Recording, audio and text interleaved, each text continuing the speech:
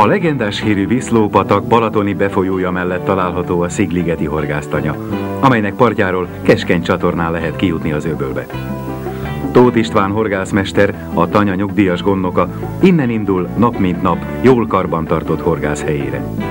Szigligeten járva mindenhol kísért a történelmi múlt. Még az idős horgász felszerelése is a régi szép időket idézi.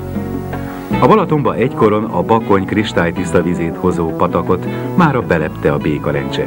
Nem ismerik az övölben kifogott pontyokat, még egy éjszakára sem a patak vizében lekötni, vagy haltartó bárkába tenni.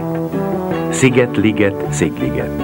Milyen találó elnevezése ennek a vidéknek, amely századokkal ezelőtt a tóvizétől minden oldalról körbevett emberveszejtő ingoványjal, lidérccel riogatta azt, aki arra járt. Eltűnt már az ingovány, de hál' Istennek még megmaradt a Szigligeti ősnádas egy jelentős darabja, mely őrzi Szigliget Balaton szerte híres pontjait. Pista bátyánk, aki majd 25 éve járja ezt a vizet, minden horgászat előtt megméri a víz mélységét.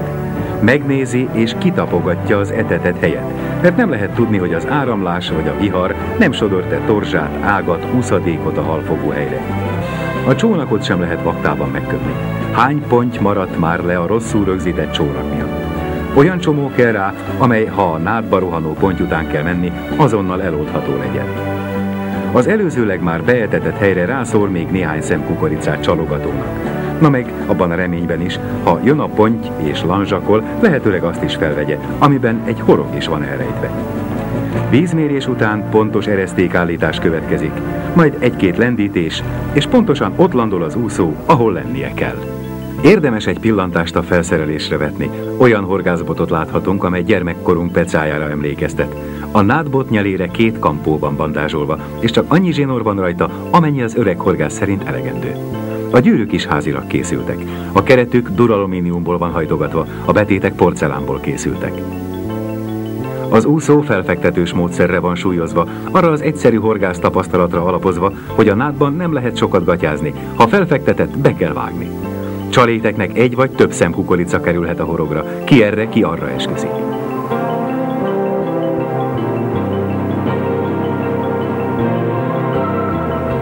Nem kell már sokat várni, hamarosan eljön minden nádi horgászat legszebb pillanata. Emelkedik az úszó, már az elfekvés pillanatában be lehet vágni. Megvan a ponty, de hol van még a küzdelem vége? Ösztönösen rohan minden balatoni pontja nádba, mintha tudnák, hogy a nád alatti torzsák, a nádszára tapadt vándorkagylók az utolsó esélyt jelentik.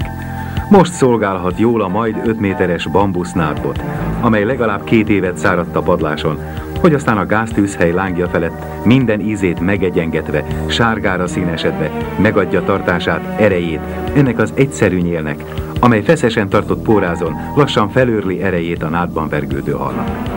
A történetnek még korán sincs vége. Elszántan küzd a hal odalent. Az még az ő világa. Minden forduló, amit a nád tövére tekeredve megtehet, a szabadulás utolsó esélye. Most kell feszíteni a botot, ne fűrészelhesse, ne dörgölhesse a víz alatti ághoz, gyékényszárhoz. Fel kell hozni minden áron, és többször megpipáltatni, hogy aztán biztonsággal csúszhasson abba a bambusznyelű széles szájú merítőbe, ami pont az ilyen telt karcsú balatoni pontyokra van méretezve. Szép vagy, mondja az idős horgász tekintete. Bizony, ilyen a ponty élet mulandósága. Nem olyan rég még egy másik világ kényelmes, pocakos öreg ura volt, aki ha tehette, vándorkagylóval tömte a bendőjét, deszertnek felhörpölt egy kis kukoricát, jobb napokon kiárt neki a máléból főzött gombóc, vagy a gömbölyűre faragott főt krumpliból torkoskodott. Kényelmes farkcsapásokkal hessegette arrébb a torkoskodó keszegeket.